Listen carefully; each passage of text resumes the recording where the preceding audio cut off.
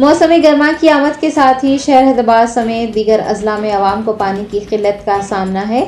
कई मकाम पर टैंकरों के ज़रिए पानी सरबराह करते देखा गया है। मौसम गर्मा शुरू होने वाला है और आवाम को पानी की किल्लत का सामना करना पड़ रहा है। पानी के टैंकर्स के ज़रिए पानी मुहैया करवाया जा रहा है। शहर हैदराबाद की सड़कों पर भी काफ़ी लंबे अरसे के बाद पानी के टैंकर्स देखे गए हैं। दूसरी जानब नागर करनूल अजला के देहातों में भी टैंकर्स के ज़रिए पानी सरबराह किया जा रहा है। आपको याद दिला दें कि वाटर वर्क्स और ग्राउंड वाटर डिपार्टमेंट ने कहा था कि साल 2023 तक आबी खिल्लत नहीं होगी क्योंकि अब साल 2023 खत्म हो चुका है, साल 2024 आ चुका है तो आबी सरबराही मुतासर हो सकती है।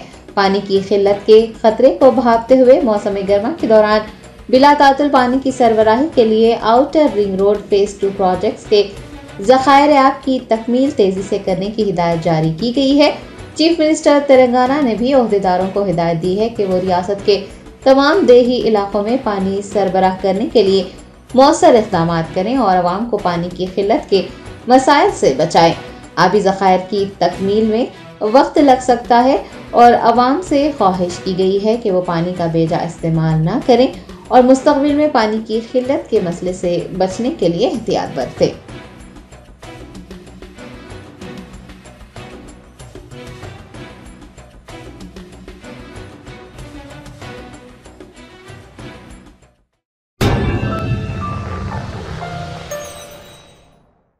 Germanten super speciality hospital, doctor Mir Jawad Jar Khan, senior experienced orthopaedic surgeon bone fracture, joint replacement hip replacement और स्पाइन सर्जरी कामयाबी से अंजाम दे रहे हैं। इसके अलावा neuro surgery cardiology gynaecology dental general medicine dialysis और फिजियोथेरापी जैसे शोबाजात में इंतहाई कामयाबी के साथ वाजबी फ़ीस में इलाज किया जा रहा है। शेयरिंग और प्राइवेट रूम्स अस्पताल में 24 घंटे MRI, CT scan 2D, digital x-ray ultrasound operation theatre ICU और लैब की सहूलत दस्तियाब है। आपकी उम्मीदों के एन मुताबिक Germanten super speciality hospital pillar number 150 Attapur Hyderabad.